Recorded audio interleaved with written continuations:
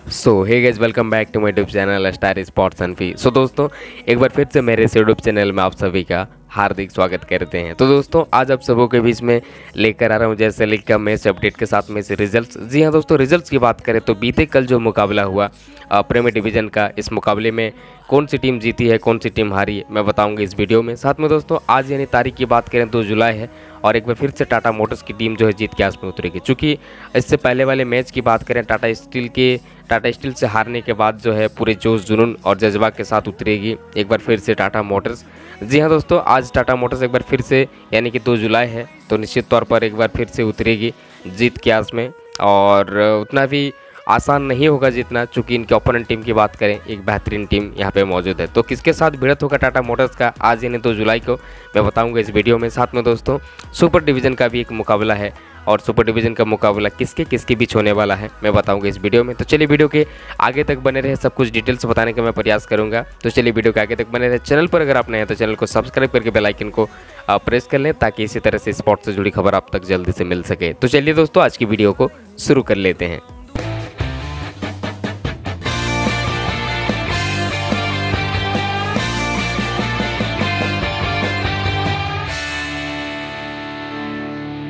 तो चलिए, सबसे पहले हम लोग बात कर लेते हैं दोस्तों बीते कल। जी हाँ एक जुलाई को जो मुकाबला हुआ प्रीमियर डिवीज़न का बी एल एस एफ़ है। बाबूलाल सोरेन फुटबॉल एकेडमी बनाम पंडित रघुनाथ मेमोरियल फाउंडेशन के बीच।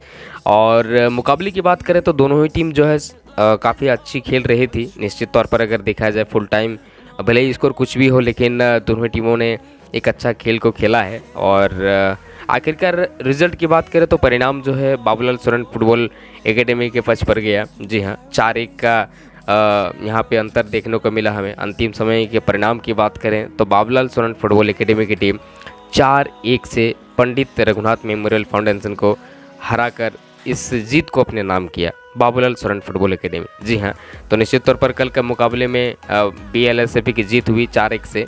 और जी हाँ दोस्तों, अगर बात करें मुकाबले का आज यानी कि दो जुलाई है और वैसे मेरा थंबनेल देख लिए होंगे टाटा मोटर्स का मैच होने वाला है। और इस बार जेआरडी टाटा स्पोर्ट कॉम्प्लेक्स में नहीं होगा। जी हाँ कहाँ पर होगा मैं बताऊँगा। वीडियो के आगे तक बने रहे। साथ में दोस्तों हम लोग बात कर लेते दोस्तों सुपर डिवीज़न का। आज मुकाबला होने वाला दो जुलाई है। सुपर डिवीज़न का मुकाबले की बात करें तो यहाँ पे आ, मुकाबला होगी ग्राम विकास केंद्र बनाम आदिवासी ग्रीन स्पोर्टिंग क्लब के बीच। और ये मुकाबला होगा दोस्तों गोपाल मैदान पर। जी हाँ ये सुपर डिवीज़न का मैच है, जो कि आज यानी दो जुलाई को खेला जाएगा गोपाल मैदान पर ग्राम विकास केंद्रा बनाम आदिवासी ग्रीन स्पोर्टिंग क्लब के बीच।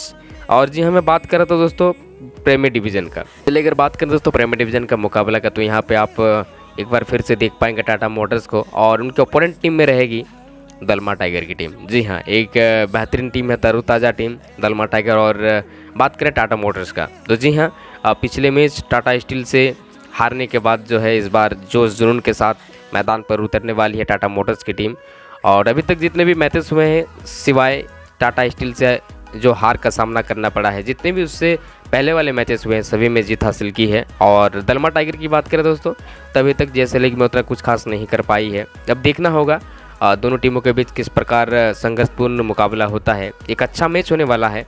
और दोस्तों, वेन्यू की बात करें तो इस बार जो J R D Tata sport complex में मैच नहीं होने वाला है। जी हाँ वेन्यू की बात करें तो Sumant Mangalkar stadium Telco ground पर ये मुकाबला होगी साढ़े तीन बजे से। जी हाँ और J R Tata sport complex में ये मैच आप नहीं देख पाएँगे। जी हाँ तो चलिए एक बेहतरीन मुकाबले की यहाँ पे आशा करते हैं। टाटा मोटर्स जो है, एक अच्छी टीम है, आप लोग भली भांति जानते हैं। और जिस प्रकार खिलाड़ी मौजूद है, साधु और बिरसा, एक अच्छे खिलाड़ी हैं और देखना होगा किस प्रकार, किस अंदाज से खेलेगी टाटा मोटर्स की टीम। ये दो खिलाड़ी साथ में, सभी खिलाड़ी जो है, अपना बेस्ट परफॉर्मेंस देती है जैसे लीग में, लेकिन पिछले मैच हारने के बाद, कुछ ना कुछ अगर दबाव महसूस कर लेती है तो इस मैच में भी मेरे ख्याल से वापसी नहीं कर पाएगी।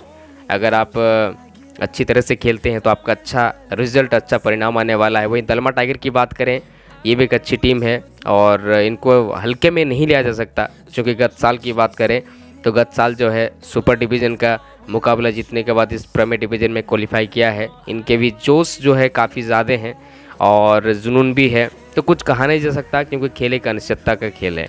कुछ कहा नहीं जा सकता, कोई भी टीम जीत सकती है, कोई भी टीम हार सकती है। हाँ एक चीज़ कहना पड़ेगा कि टाटा मोटर्स की टीम जो है, अभी अच्छे लय में नज़र आ रही है, पिछले मैच छोड़कर अगर देखा जाए। और मिदरमा टाइगर की बात करें तो अभी तक जैसे लीग में उतना अच्छा नहीं कर पाई है, देखना होगा किस प्रकार से खेलेगी। और देखना होगा कौन सी टीम जीत पाएगी इस मैच में प्रीमियर डिवीज़न के इस मुकाबले में। तो चलिए दोस्तों, आशा है कि इन्फॉर्मेशन आप सबको अच्छा लगा है। अगर अच्छा लगा तो लाइक कमेंट और साथ में सब्सक्राइब ज़रूर करिएगा। तब तक मिलते हैं दोस्तों एक नई वीडियो एक नए इन्फॉर्मेशन के साथ। तब तक के लिए जय हिंद दोस्तों।